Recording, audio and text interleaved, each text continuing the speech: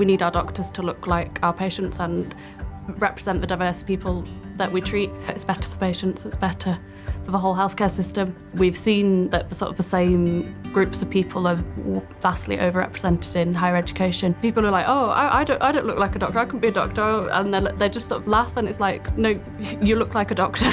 like, what does a doctor look like? I'm Katherine Harris, and I'm currently a junior doctor at Aintree University Hospital. I have just started in A&E which is taking a history, doing an examination, and then there's resus as well where you've got the critically unwell patients. I'm from a school in Bradford. It's a large comprehensive school, uh, 2,000 people, a very diverse background. I was the first person to do medicine in 10 years. My teachers were really supportive. My mum's a teacher, my dad works as a cook in a pub, two sisters, a brother, just a normal family, yeah. I got some experience in a maternity ward, uh, in a hospice, and I was like, actually, this is really cool. Maybe I want to do medicine. And I always wanted to work with children.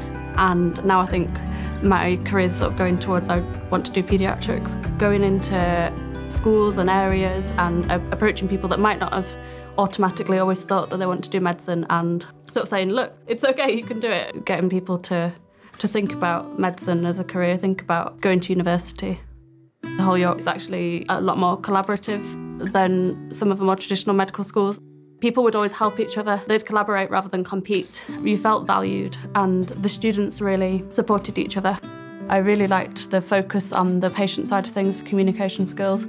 I think for me, I couldn't sit through lectures all day. What you learn, you apply in the clinical practice the same week, and then it really puts it into perspective why you're learning it. I am proud of what I do as a doctor. It is the human interaction and trying to make someone's very stressful time less stressful. I, I would say definitely do it. There's a hundred different ways you can go. You can work in hospital, you can work in the community, uh, you can work in health education, you can work in teaching in academia. There's a lot of different paths and there should be a lot of different people that do it.